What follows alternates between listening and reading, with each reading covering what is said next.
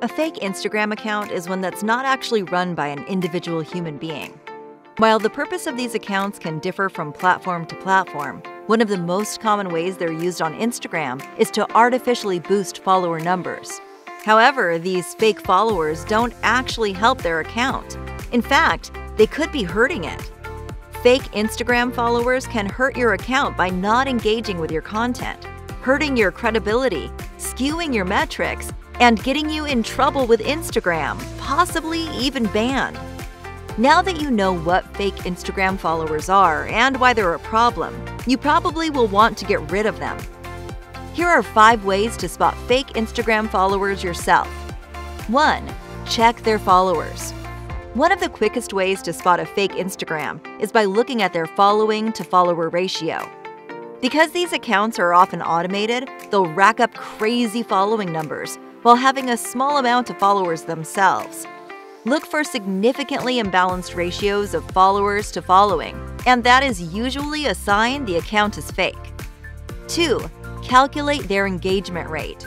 As we mentioned before, fake accounts don't engage, so if you see an account that has 1,000 followers but gets less than 5 likes per post, this could be an indication that they're fake. 3. Read the comments they make. Another telltale sign of fake Instagram followers is the comments they make. Some things to look out for in comments are generic, impersonal, not relevant to the actual photos, and have grammar or spelling mistakes. 4. Evaluate their profile. When fake accounts are being created, they're not going to take the time to create accounts with real photos, engaging bios, and unique posts.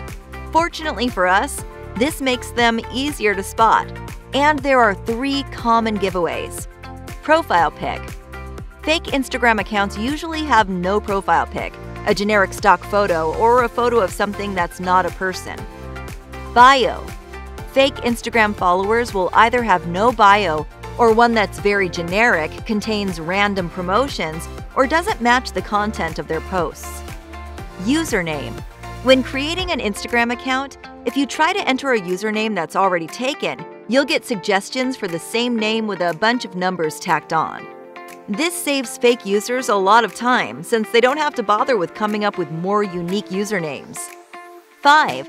Look at their posts. Fake account creators don't have time to populate their spam profiles with lots of engaging, unique content. Instead, you'll often see posts that are mostly promotional, offer fake discounts or deals, don't fit the bio or profile pic, and are made very close together in time. Now, here's how to avoid fake Instagram followers. Step 1. Don't buy fake followers. If you want to increase your Instagram presence, only use an organic growth tool like Kicksta, not tools that attract spammy accounts. Step 2. Report fake followers.